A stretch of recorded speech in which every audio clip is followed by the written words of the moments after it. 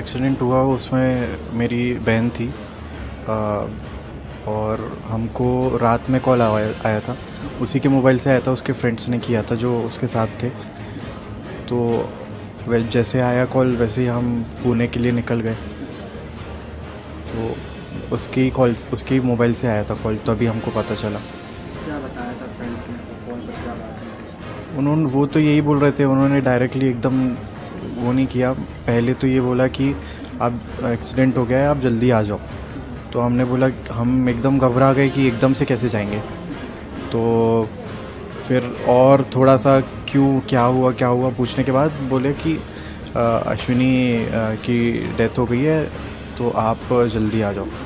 पुणे तो हमको जैसे ही ऐसा पता चला हम निकल गए बाय कार। वहाँ जाकर आपने क्या देखा? वहाँ पर तो एक तो हमारी फ़्लाइट्स वगैरह डिले हो गई थी तो उसकी वजह से टाइम हो गया। तो उसकी वजह से पीएम में टाइम हो गया। तो जैसे ही हम हॉस्पिटल पहुँचे, उसके बाद सब फॉर्मेलिटीज़ करके पीएम पे गई बॉडी उसमें भी बहुत आई थिंक क्योंकि बॉडीज़ ज़्यादा थी पुणे में हॉस्पिटल में एक ही शायद पीएम का है डिपार्टमेंट तो उसमें हमको कुछ पाँच छः घंटे लग गए थे। तो वहाँ से फिर हम बॉडी लेके डायरेक्ट जबलपुर आ गए बाई एंबुलेंस। आपकी बहन क्या किया था? आपकी जो कब से पुणे पर पुणे में तो उसने अपना ग्रेजुएशन बीटेक जो है वो वहाँ से किया। फिर उसकी वहीं से जॉब लग गई थी। तो कोरोना के टाइम से फिर वर्क फ्रॉम होम था और अभी रिसेंटली गई थी वो चार महीने हुए थे पाँच महीने हुए थे उसको। पुणे शिफ्ट हुए। पुणे कब से रह रही थी पुणे? में जबलपुर कब आना पुणे लगभग छः साल छः साल से उसका ग्रेजुएशन और ऑफ़िस चल रहा था छः साल से पुणे में। और फिर कोरोना के बाद वो घर पे ही रहती थी वर्क फ्रॉम होम अभी रिसेंटली गई थी वो जनवरी में पुणे। हादसा तो हमको अभी मतलब जब एक्सीडेंट हुआ तो यही पता था कि एक स्पीड में आई कार, उसने डैश मारा। उसकी वजह से उसको हेड इंजरी हुई और ऑन द स्पॉट डेथ हो गई। मगर फिर उसके बाद पता चला कि वो बहुत ज़्यादा स्पीड में कार चला रहा था और वो पोर्शे कार थी जो सुपर कार है। तो सुपर कार आप एक बिज़ी रोड में कैसे चला सकते हैं 200 की स्पीड में? और वो भी बिना नंबर प्लेट की ऊपर से आप ड्रिंक एंड ड्राइव कर रहे हैं। ऊपर से आप माइनर भी हैं। तो ये सब हमको पता चला फिर उसके बाद।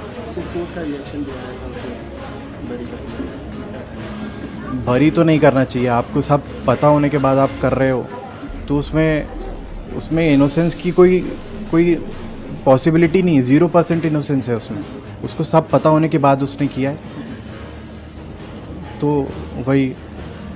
लास्ट टाइम आपकी बहन से कब बात हुई थी और क्या बात हुई थी, क्या बताया पिछले दिन ही हुई थी सेवनटीन को ही हुई थी बात। वही उसने बताया था कि रा, रात में हम लंच आ, मेरी फ्रेंड आई है इंदौर से उसके साथ डिनर पे जाएँगे। बस इतना बताया था उसने। हादसे के समय क्या उसकी हाँ उन लोग फ्रेंड्स थे फ्रेंड्स के साथ ग्रुप गया था पूरा। और फिर उन लोग खाना खा के निकले कुछ टू टू थर्टी पे निकले थे शायद। तो अ, ये अपने फ्रेंड के साथ पहले निकल गई। क्योंकि इनकी बाइक बाहर ही रखी हुई थी शायद और बाकी की पार्किंग में रखी हुई थी। तो ये पहले निकल गई इन्होंने यू टर्न मारा और पीछे से ही अ, कार ने आके डैश मारा फिर। ये कोई पहले दूसरे के बच्चे ने नहीं किया है ना कि कार चला ली और ठोक दी। उसमें आप उसको बोल सकते हो। सत्रह साल के अब लड़के नहीं आदमी होते सत्रह साल के उनको सब समझ में आता है आज के। पहले नहीं आता होगा मेरे को नहीं पता। मगर आज के दौर में सत्रह साल का लड़का पैंतीस साल की उम्र के हिसाब से अपना ब्रेन रखता है और उसको सब पता होता है कि क्या होता है, क्या नहीं होता और वो डिसीजंस भी वैसे ही ले सकता है। अब इनके डिसीजंस पता नहीं कैसे और इनके माँ बाप के डिसीजंस पता नहीं मुझे कैसे हैं। सज़ा तो होनी चाहिए और कानूनन जो भी कार्रवाई होनी चाहिए, सही सही तरीके से। मैं यही चाहता हूँ। कम उम्र में गाड़ी नहीं देना चाहिए। चाहे कितनी भी कुछ भी हो, नहीं देना चाहिए। आपके पास कितना पैसा है, क्या आपके साथ भी हादसा हो सकता है। अगर वो कहीं ऐसी स्पीड करता, कोई नहीं रहता, वो जाके किसी भी क्रॉसिंग में कुछ भी उसके साथ हो सकता है उसके साथ भी हो सकता है, वो हुआ नहीं, उसकी किस्मत है वो। और मैं चाहता हूँ कि सज़ा मिले तो और ऐसा एक एग्ज़ाम्पल सेट हो कि ये सब, और और पुलिस में भी ऐसे प्रावधान हो कि आप बिना लाइसेंस प्लेट और माइनर जो गाड़ी चला रहे हैं ड्रिंक एंड ड्राइव कर रहे हैं, आप हेलमेट तो पकड़ लेते हैं तुरंत में।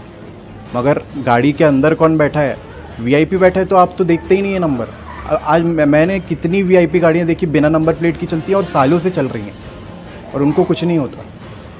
तो ये ये एक नया कानून आना चाहिए कि आप आप वीआईपी हो तो नंबर प्लेट लगाओ ना। आप नंबर प्लेट क्यों नहीं लगाते और माइनर्स को कैसे दे रहे हो? आपकी गाड़ी में ब्लैक फ़िल्म कैसे है? ब्लैक फ़िल्म की है आपके, आपको परमिशन तो करो, मगर आप माइनर्स को नहीं दे सकते ना अपनी गाड़ी।